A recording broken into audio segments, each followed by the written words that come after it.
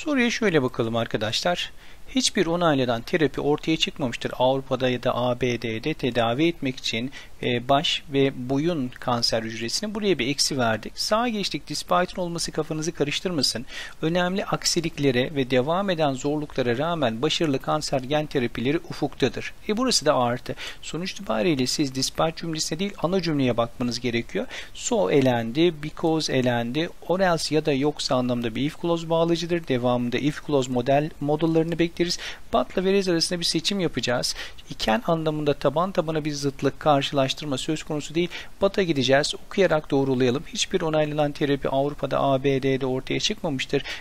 Kafa ve boyun kanser hücresini tedavi etmek için ama önemli aksiliklere ve devam eden zorluklara rağmen başarılı kanser gen terapileri ufuktadır dedik. Bat doğru cevabımız oldu arkadaşlar.